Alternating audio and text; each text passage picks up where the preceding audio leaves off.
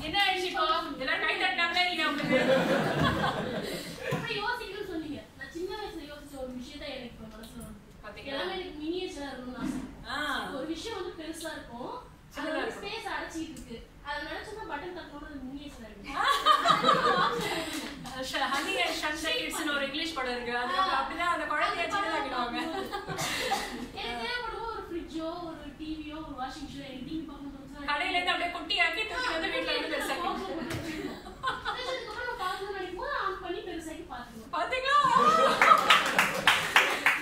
நீங்க இதுல பேச மாட்டேன் நெகட்டிவிட்டி நீங்க எவ்வளவு பேசுறீங்க சூப்பர் இல்ல இது நல்ல ஐடியா சார் இது யாரும் நம்ம ரிமைண்ட் பண்ணலாம் சூப்பருங்க அது தோன்றது அது அந்த மாதிரிலாம் இருக்கும் இது சிலியா இருக்கு அவங்க கிண்டல் பண்ணுவாங்க அது மாதிரி நினைக்கிறதா இருந்து இல்லைங்க நீங்க இது ஒரு பெரிய ஒரு டெக்னாலஜியே உருவாக்கி பண்ணீங்க seriously this is a very good இது ஒரு வீடு ஷிஃப்ட் பண்ணனும் எல்லாத்தையும் சப்பு மாதிரி பண்ணணும் டப்பால போட்டு எடுத்துட்டு போயிடலாமே very good very good super நீங்க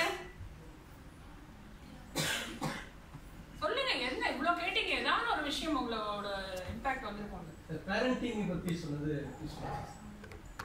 அந்த மொபைல் போன்ஸ்ல எல்லாம் இப்ப நிறைய ஜெர்ம்ஸ் இருக்குங்க. நீங்க கொஞ்சம் ஜாக்கிரதை.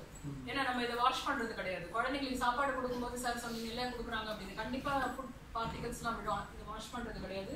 இதுக்கு வந்து ஒரு டிஸ்இன்ஃபெக்டட் சொல்யூஷன் இருக்கு க்ளீன் பண்றதுக்கு.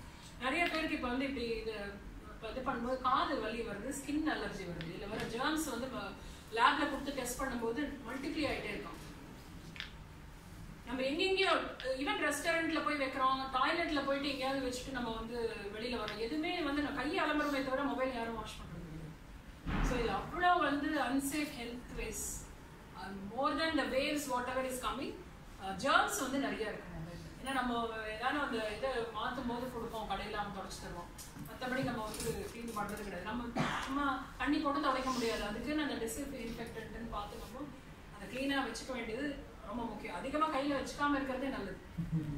நம்ம நமக்கே தெரியாது. நிறைய திங்ஸ் வந்து நம்ம பாடிக்குள்ள போயிட்டு இருக்கு. அதனால தான் இவ்வளோ டிசீசஸ் ஹார்ம்ஃபுல் எஃபெக்ட்ஸ்னு அதனால ஒரு காலத்துலலாம் ninety ninety five years Vyjayanthimala Bali வந்து eighty to eighty four years தான் வைஜெயந்தி மாலா தெரியும்ல எல்லாருக்கும்? ஒரு த்ரீ டேஸ் முன்னாடி dance performance in Chennai. Eighty four இயர்ஸில் எப்படி அவங்க அவ்வளோ ஹெல்த்தியாக இருக்காங்க பாருங்க. அந்த ஃபுட் ஹேபிட்ஸ் ஹைஜீன் அவங்களுக்குலாம் கேட்டிங்கன்னா இந்த மாதிரி ஹேபிட்ஸ்லாம் இருக்காது. இந்த ஜென்ரேஷன்ல தான் நிறைய பேர் அடிக்ட் ஆயிட்டாங்க. அந்த எயிட்டிஸ்ல நைன்டிஸ்ல இருக்கிறவங்களும் அதிகமாக இந்த மாதிரி இதில் அடிக்ட் ஆயிருக்க மாட்டாங்க. அவ்வளோ இம்யூன் சிஸ்டமும் இம்யூன்டா இருக்கும். வெளியில சாப்பிட மாட்டாங்க மெயினா வெளியில சாப்பிடும்போது யோசிச்சு சாப்பிடணும்னுவாங்க. யார் சாப்பாடு பண்றாங்களோ அவங்களோட உணர்வுகள் வந்து அதுல என்னைக்கான ஒரு நாள் நம்ம டிஸ்டர்ப்டா இருந்தோம்னா யோசிக்க சொல்றாங்க. இங்க சாப்பிட்டோம். யார் கை சமையல்ல சாப்பிட்டோம்? நிறைய பேர் வந்து வீட்டில் தான் சமைச்சு சாப்பிடுவாங்க. ஏன்னா வீட்டில் வந்து நம்ம நல்ல எண்ணங்களோட நல்லா இருக்கணும். பசங்க நல்லா இருக்கணும் ஹஸ்பண்ட் நல்லா இருக்கணும். அது ஒரு பாசிட்டிவ் சண்டை போட்டுட்டே சமைச்சு சாப்பிட்டீங்கன்னா ஐ நாட் ரெஸ்பான்சிபிள் நிறைய பேர் நடக்கும் அதுவும். அதை தூக்கி போட்டு திட்டிக்கிட்டே சமைப்பாங்க அந்த ஆம்பியன் சமைக்கும் போது மட்டும் தயவு செஞ்சு ரொம்ப ஃப்ரெண்ட்லியா இருந்துருங்க. வீட்டில் இருக்கிறவங்கள சமைக்கிறோம். நல்ல எண்ணங்களோட சமைக்கும் போது அந்த ஃபுட்டில் அது வரும். சங்கராச்சாரியர் சொல்லியிருக்காரு. இந்த மாதிரி வந்து சமைக்கிறது வந்து அன்னைக்கு யோசிச்சு பார்க்கணுமா? இன்னைக்கு வந்து மைண்ட் டிஸ்டர்ப்டாக இருக்கு. எனக்கு தூக்கம் வரல. ஒரு மாதிரி மைண்டு தான். More than your stomach mind disturb ஆகும் நமக்கே தெரியாது ஏதோ ஒரு டிஸ்டர்பன்ஸ் வரும் நமக்கு நம்ம ஏதோ ஒரு அசௌரியமாக ஃபீல் பண்ணுவோம் டிமோட்டிவேட்டடா ஃபீல் பண்ணுவோம் வெறுப்பா ஃபீல் பண்ணுவோம். அதெல்லாம் because of the food intake from where you taken and it goes to whose அதனால அது அது ரொம்ப மைண்ட்ல கேர்ஃபுல்லாக குழந்தைங்களுக்கு சொல்லணும். கண்டதெல்லாம் கண்ட இடத்துல போய் வாங்கி சாப்பிடுறாங்க இல்ல அது ஒரு ஜங்க் ஃபுட்டா இருந்தா கூட more than that it affects your mind இப்போ ஸ்டமக்குக்கெல்லாம் நீங்க மருந்து இருக்குங்க. மைண்டுக்கு ஏதாவது மருந்து இருக்கா? மனசு வருத்தமா இருக்கும்போது எந்த மருந்தாலையாவது நம்மள கியூர் பண்ண முடியுமா சொல்லுங்க. மனசே தான் அதை கியூர் பண்ணிக்கணும். ஸோ அது வந்து கொஞ்சம் லாங்கா இருக்கும். மனசு வருத்தப்பட்ட டக்குனெல்லாம் நமக்கு சந்தோஷம் வராது. டக்குனெல்லாம் வெளியில வர முடியாது. அந்த வருத்தம் டிப்ரெஷனுங்கிறது இட் டேக்ஸ் டைம் ஸோ மனசை வந்து எப்பவுமே சஞ்சலப்படாம அமைதியா பீஸ்ஃபுல்லா வச்சிருக்கிறது தான் நம்ம ஹெல்த்தியா திங்க் பண்ணவும் முடியும். நம்ம லைஃப்பை லீட் பண்ணவும் முடியும். It's very very essential to have a healthy mind first then the healthy பேசிட்டே இருக்கலாம் பேசிட்டே இருக்கலாம். நீங்க உங்க சைட்ல இருந்து ஏதாவது ஒரு ஃபீட்பேக் சொல்லுங்க.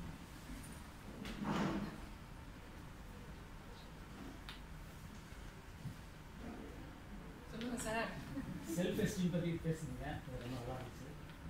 அதான் நீங்கள் சொன்னதுக்கப்புறம் தான் புரியுது ஆப்பர்ச்சுனிட்டிஸ் அன்றாட ஃபீட் ஆமாம் என்னோட எனக்கு எங்கள் அம்மாவோட பாஸ் சார் எங்கள் அம்மாவோட பாஸ்னா என்ன வயசு இருக்கும் பாருங்க. ரிட்டையர் ஆகிட்டு எயிட் இயர்ஸ்க்கு அப்புறம் ரெண்டு பிஹெச்டி பண்ணியிருக்காரு ரெண்டு பிஹெச்டி பண்ணியிருக்காரு அதாவது ஸ்டிக்கை வச்சுட்டு நடக்க முடியாம யூனிவர்சிட்டிக்கு போவாரு இதுக்கு மெட்ராஸ் யூனிவர்சிட்டி ஹிஸ்ட்ரியில் அல்ல அது அது வந்து ஒரு வேலைக்காகவோ சம்பாதிக்கிறதுக்காகவோ கிடையாது. ஒரு நாலேஜ் கடைசி வரைக்கும் சில பேர் வந்து படிச்சுக்கிட்டே இருப்பாங்க. ஏதாவது அவருக்கு தெரிஞ்சுக்கணும். அது ஒரு ஒருத்தரோட லைக்கிங் இது ஒரு கிடைச்சாதான் நான் இது பண்ணுவேன்னு சொல்றவங்க சில பேர். இது கிடைக்குமா? நான் இது பண்றேன். இந்த ப்ரொமோஷன் கிடைக்குமா? சரி நான் இந்த படிப்பை படிக்கிறேன்றது வேறு நாலேஜை கெயின் பண்ணிக்கிறதுங்கிறது வேற. Certificate is different knowledge is சொல்லுங்க சார் நீங்க சார் நீங்க சொல்லுங்க நான் கேட்கவே இல்லை யூஸ் பண்ணுது. அப்ளிகபிளா ரிலேஷன்ஷிப்பையும் வந்து ஸ்ட்ராங்கா எடுத்துக்கோங்க. வீட்ல போய் கொஞ்சம் டைம் ஸ்பெண்ட் பண்ணுங்க. நிச்சயமா எல்லாரும் சேஞ்சை ஃபீல் பண்ணுவாங்க. நீங்க போய் உட்கார்ந்து அவங்க கிட்ட பேசுனீங்கன்னா உங்களுக்கு நல்ல சாப்பாடும் கிடைக்கும். நல்ல புத்துணர்ச்சியா வீட்ல ஒரு ஆம்பியன்ஸே பாசிட்டிவா இருக்கும். ஜஸ்ட் டூ மினிட்ஸ் என் பையன்லாம் வந்து டிசிஎஸ்ல ஒர்க் பண்ணிட்டு இருக்கும்போது நைட்டு வருவான் பத்து மணி பதினோரு மணிக்கு அம்மா நீ ஹாட் பேக்ல வச்சுட்டு போய் தூங்கிடுமா? நான் சாப்பிட்டுக்கிறேன். மனசே ஆகாது. ஏன்னா நாள் பூரா குழந்தைய பார்க்கல.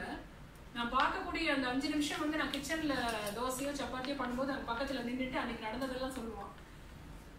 அந்த அஞ்சு நிமிஷம் வந்து எனக்கு வாழ்க்கையில வந்து தூக்கம்லாம் ஒண்ணுமே இல்லை.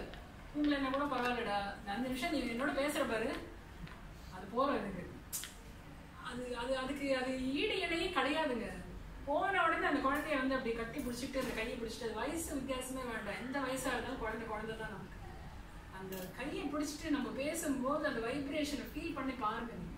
நான் எங்க எவ்வளோ வேலை செஞ்சாலும் வீட்டில் வந்தேன்னா ஒரு ரெண்டு நிமிஷமாவது குழந்தைங்க கிட்ட உட்காந்து அவங்க கையை பிடிச்சிட்டு என்னம்மா எப்படி இருக்க? சாப்பிட்டியா? என்ன பண்ற போகிறோம் that emotional attachment will not allow them to make any mistake என்ன தப்பு பண்ணாலும் உடனே நம்ம முகம் ஞாபகம் வரும் அந்த கனெக்டிவிட்டியை என்னைக்கு நீங்க டிஸ்கனெக்ட் பண்றீங்களோ you are you have lost your child you no more get connected with the child இருபத்தி நாலு மணி நேரம்லாம் இருக்க மாட்டாங்க. ஒரு நாளைக்கு அஞ்சு நிமிஷம் போகும். More than enough it is only the quality time what you spend rather than quantity time நம்ம நாள் பூரா சண்டே வீட்டில் இருப்பாங்க. ஜென்ஸ் வீட்டில் இருப்பாங்க சமைப்பாங்க எல்லாம் பண்ணுவாங்க. ஏதோ டிவி பார்த்துட்டு இருப்பாங்க இல்லை யார்கிட்டயும் நம்ம ஃபோனில் பேசிட்டு இருப்பாங்க.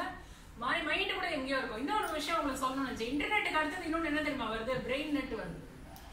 என்னோட எமோஷன்ஸை உங்களுக்கு நான் ட்ரான்ஸ்ஃபர் பண்ண முடியும். பேசாமையே பிரெயின் டு பிரெயின் அங்க போயிட்டு இருக்கு உலகம் சொல்லுங்க யாரான ஒருத்தர் ஃபைனலி நீங்க கொஞ்ச நேரத்துக்கு மைண்டுக்கான ஒரு மெடிசனை இப்போ நீங்க எல்லாருக்கும் எங்களுக்கு நீங்க கொடுத்துருக்கீங்க. கண்டிப்பா.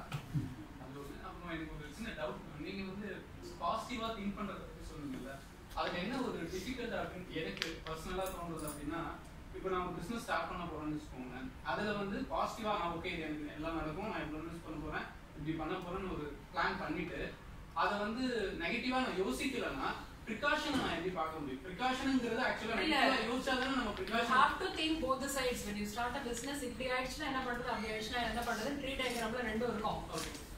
அப்ப நெகட்டிவா ஆயிடுச்சுன்னா என்ன பண்றதுன்னு ஒரு பாசிட்டிவா யோசிச்சீங்கல்ல அதுக்கான சொல்யூஷன் நெகட்டிவா ஆயிடும். அதனால நான் பிசினஸே பண்ண மாட்டேன்னு சொன்னா negative okay you have to think negative நான் வெளில போறேன். எனக்கு கார் கிடைக்கலன்னா எப்படி போகுது? நடந்து போறதா? ட்ரெயின்ல போறதா? பஸ்ல போறதா?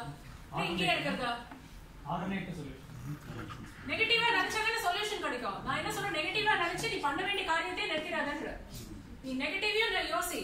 கான்சிக்வன்சஸும் யோசி. யோசிச்சுட்டு அதை எப்படி நான் ஓவர் கம் பண்றதுங்கிறதையும் யோசி. That is positive every problem has solution definitely sir அதை எங்கேயோ போய் தேடக்கூடாது. ப்ராடக்ட்லயே இருக்கும் சொல்யூஷன் எங்க ஆரம்பிக்கிற ப்ராப்ளம் அங்கேயே சொல்யூஷன் இருக்கு. நம்ம அதை விட்டுட்டு எங்கேயோ தேடுறோம். அதே மாதிரி நான் வீட்ல நம்ம வாழ்க்கையில வந்து நிம்மதி எங்கேயோ தேடிட்டு இருக்கோம். நம்ம கிட்டே இருக்கு. But we keep searching somewhere. Finally ultimately the last day will come that day we will realize ஆஹா நம்ம கிட்டே இருக்கே நம்ம வந்து அதெல்லாம் அனுபவிக்கலையே. வாழ்க்கையே அனுபவிக்கலையே. எத்தனையோ பேர் இருக்காங்க எத்தனையோ பேர் சொல்றாங்க நான் இவ்வளவு காசு தரேன் எனக்கு வந்து ஹாஸ்பிட்டல்ல போய் எப்படியான கியூர் பண்ணேன்?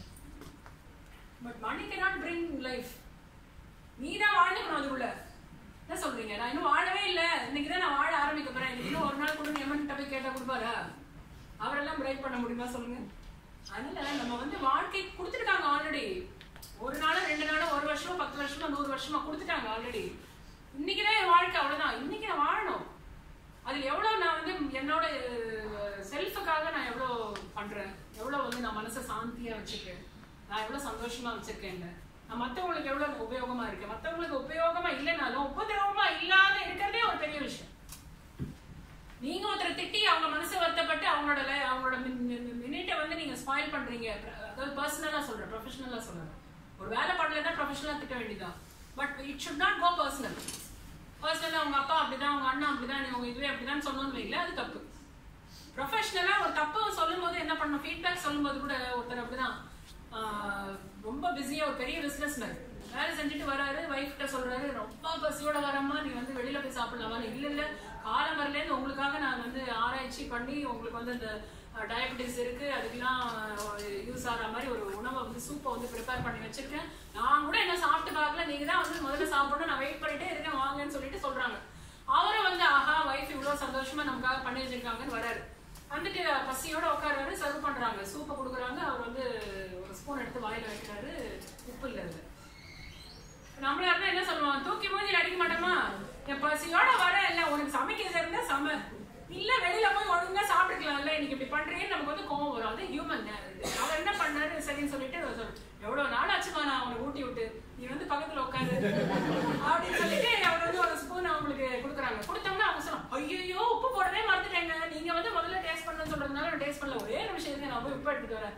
சொல்லிட்டு கலந்து கொடுக்குறேன் ரெண்டு பேரும் சந்தோஷமா சாப்பிடுறோம் இதுக்கப்புறம் வீட்டுல கூலா இருக்குமா காமா இருக்குமா சந்தோஷமா இருப்பாங்களா? அவங்களுக்கு எப்படி இருக்கும்? ஆஹா நம்ம ஹஸ்பண்ட் வந்து நமக்கு எவ்வளவு அன்பா ஊட்டி விட்டாருன்னு நினைப்பாங்க. அவங்க என்ன அவர் என்ன நினைப்பாங்க நாள் பூரா நமக்காக கஷ்டப்பட்டு அதை எதுவும் தேடி செஞ்சு வச்சிருக்கா அவ்வளோ போய் மனசு வருத்தப்படக்கூடாது. ஃபீட்பேக் சொல்றதுக்கும் ஒரு அவங்கள ரியலைஸ் பண்ண வைக்கணும். நீ உப்பு போடலன்னு சண்டை போட்டிருந்தோம்னு வைங்களேன் ஜென்மத்துக்கு உப்பு போட மாட்டாங்க உங்க சாப்பாடு நெக்ஸ்ட் டைம் என்ன பண்ணுவாங்க? ஐயோ ஒரு வாரத்துக்குள்ள எல்லாத்தையும் டெஸ்ட் பண்ணி வச்சிடலாம். அப்படின்னு பார்ப்பாங்க. ஸோ சொல்ற விதத்துல இருக்கு. எல்லாமே. ஹியூமன் ரிலேஷனே அதுதாங்க. ஒருத்தருக்கு ஒருத்தர் மனசு வருத்தப்பட வைக்காம நீங்களும் வாழணும் மற்றவங்க நம்ம சுற்றி நம்ம நம்பி இருக்கிறவங்களும் நல்லா வச்சுக்கணுங்கிறது தான் வாழ்க்கை. ஸோ அது எவ்வளோ நாளுங்கிறது முக்கியம் கிடையாது. நீங்கள் எவ்வளோ நாள் வாழ்ந்தீங்கிறத கவுண்ட் பண்ணுறோம் so all the very best next time பார்ப்போம் பேசுகிறேன்